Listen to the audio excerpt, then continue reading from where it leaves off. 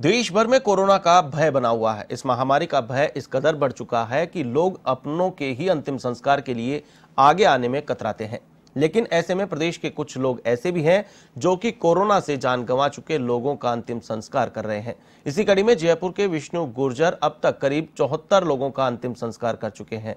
विष्णु गुर्जर के काम को देखते हुए पूर्व पार्षद विक्रम सिंह तंवर और बीजेपी नेता हेमपाल मीणा ने विष्णु गुर्जर को माला पहनाकर सम्मान दिया।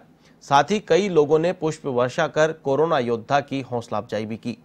आपको बता दें कि जयपुर के रहने वाले विष्णु एसएमएस हॉस्पिटल के मुर्दा घर में सुपरवाइजर का काम करते हैं। विष्णु अपनी टीम के साथ इंसानियत का फ़र्ज़ निभाते हुए कोरोना से मरने वालों का अंतिम संस्कार करने में जुटे हैं। विष्णु ने बताया कि कोरोना मृतकों का अंतिम संस्कार धर्म के आधार पर ही किया जाता है।